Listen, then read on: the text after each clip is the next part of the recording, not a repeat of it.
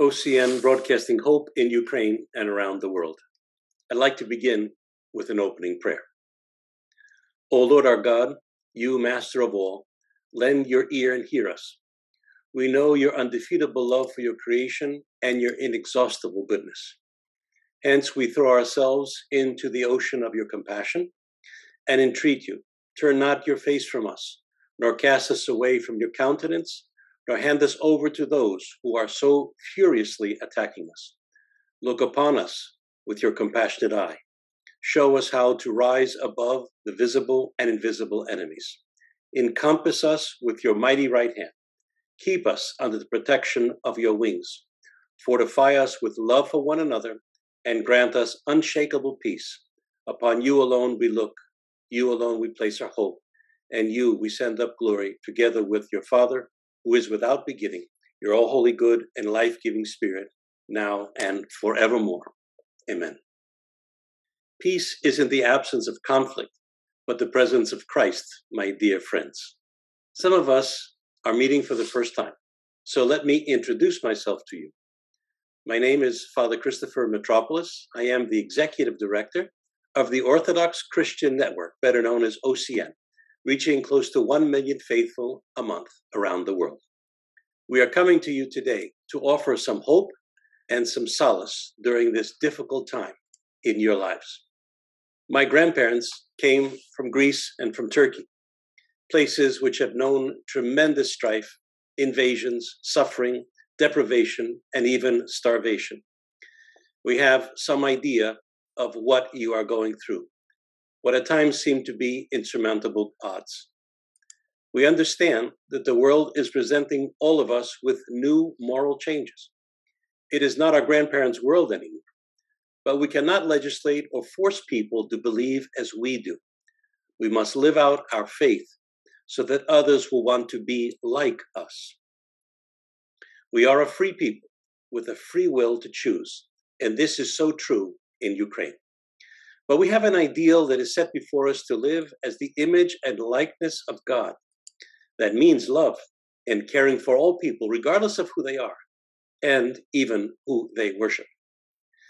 There have been many things that we observe in the past several weeks in horror and disbelief at what is happening in Ukraine to you. We marvel at the courage of your leadership, of the average citizen who will not give up their freedom or country. Our heart goes out to the young and the old children, fleeing by the hundreds of thousands from their homes with merely one suitcase. We've witnessed the priests and the faithful praying in bomb shelters and underground stations. Children separated from their parents, with some walking hundreds of miles with merely the names written on their arm of their parents and a phone number. We've also witnessed mass graves hundreds of people being buried because they need to be put to rest due to their huge numbers. We've also seen thousands waiting to board trains, images of which we have never seen since the Second World War. Millions upon millions have been displaced. But, my dear friends, there are more angels in the universe than the people being displaced, who have now wrapped their arms around each and every one of you protecting us. So the question can be asked what do we do? At OCN, we're going to be creating new programs offering faith over fear to Ukrainian people over the next few weeks and months. It is the least we can do. There are five ways that I want to share with you that we can unite faith over fear. The first is to pray. It is our most powerful weapon. We can connect with one another in a community who prays. Two, we can keep learning. We can read the fathers of the church and Holy Scripture. Check back regularly, and you'll see relevant, updated content from our contributors. The first scriptural reference I want to reference is 1 Corinthians chapter 4, verse 12. We work hard with our own hands. We are cursed, we bless. When we are persecuted, we endure it. St. Paul's letter to the Romans, chapter 8, verse 35. Who shall separate us from the love of Christ? Shall trouble or hardship or persecution or famine or nakedness or danger or sword? In 1 Thessalonians chapter 3 verse 7, Therefore, brothers and sisters, in all of our distress and persecution, we were encouraged about you because of your faith. Number three, we'll be sending you more faith based content to observe and find solace in. Number four, speak to your children. Create a safe place for conversation. Create a spot for your kids to talk about what makes them scared. Many times, just speaking about it can dispel fear. Be honest. You yourself experience fear. Sometimes kids are reluctant to admit what makes them feel scared. There's nothing that breaks down walls better than humility. There's comfort in knowing other people, especially their mom and dad, also experience fear. Five, teach them.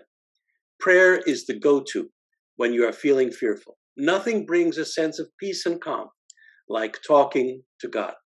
Do not be anxious about anything, but in everything by prayer and supplication with thanksgiving, let your requests be made known to God. St. Paul's letter to the Philippians, chapter 4, verse 6. Read scripture together.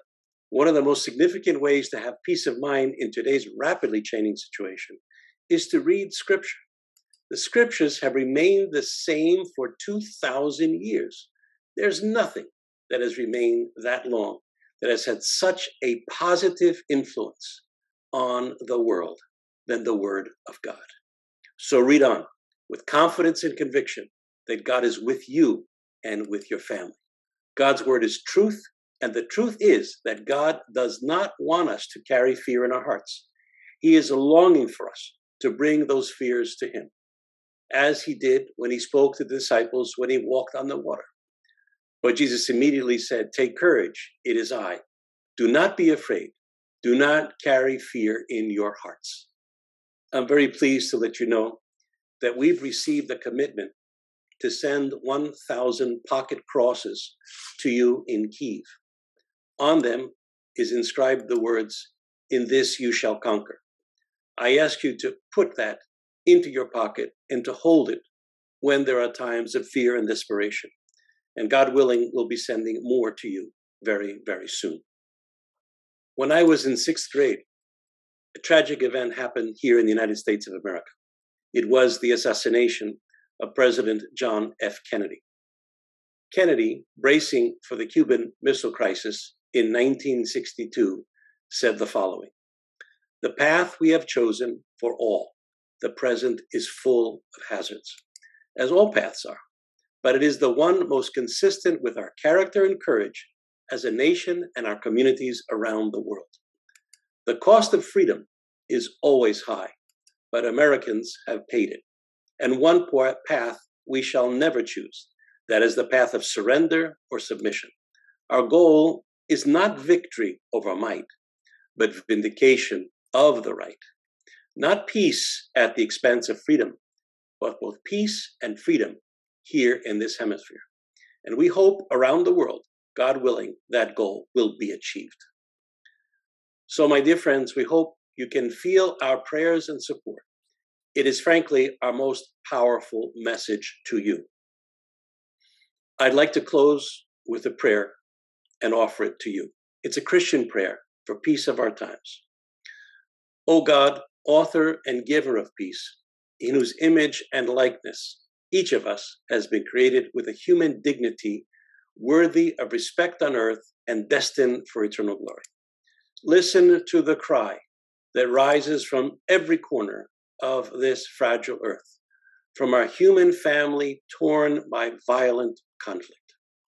To world leaders, grant the wisdom to see beyond the boundaries of race, religion, and nation to that common humanity that makes us all children and brothers and sisters to one another. To those who have taken up arms in anger or revenge, or even in the cause of justice, grant the grace of conversion to the path of peaceful dialogue and constructive collaboration. To the innocent who live in the shadow of war and terror, especially the frightened children, be a shelter and strength, their haven and hope. And to those who have already lost their lives, as victims of human cruelty and chemical warfare. Open wide your arms and enfold them all in the embrace of your compassion, healing, and everlasting life. Grant this, O Lord. Amen.